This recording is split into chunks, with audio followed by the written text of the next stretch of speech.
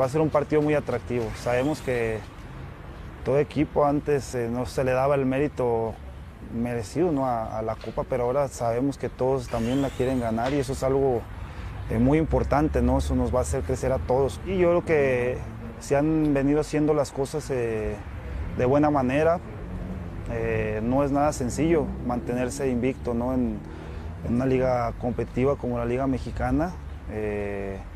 Y bueno, yo creo que no ha sido nada sencillo. Yo creo que todo esto se ha logrado en base al trabajo, a la dedicación de todos los compañeros. Me puse a, pensar muy bien la situación que estábamos viviendo, saber qué, qué es lo que se tenía que hacer y bueno, a final de cuentas tomamos la decisión de mantenernos en la institución, de ser agradecidos también con ellos, que, también me mantuvieron, que confiaron y que siguen confiando en mí.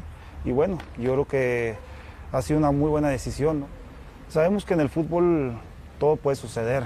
Nosotros eh, estamos a expensas también de los resultados, de las decisiones tanto técnicas como de la directiva. Pero claro, uno de mis objetivos y de mis sueños sería pues colgar los guantes aquí en, Cruz Azul. Conocemos a Santos, ¿no? un equipo con muy buenos jugadores. Si bien no han sido regulares, como bien lo dices, eh, sabemos que, que, tiene jugadores para que te cambian el rumbo ¿no? de tanto de un partido y en el cual pues sabemos que va a ser muy parejo. Están muy bien dirigidos, eh, tiene un gran técnico. Eh, defensivamente veo jugadores fuertes. Van a tener una baja que es la de, Araujo.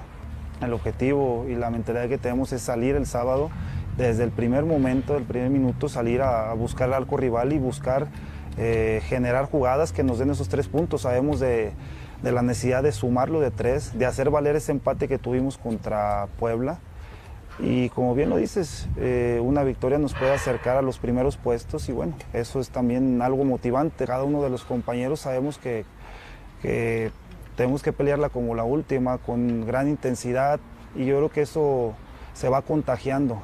Contagias al compañero, pero también vas contagiando a la tribuna y eso lo va percibiendo la afición. Se pueden tener buenos o malos resultados, eso es normal en el juego, pero yo creo que las maneras hacen la diferencia.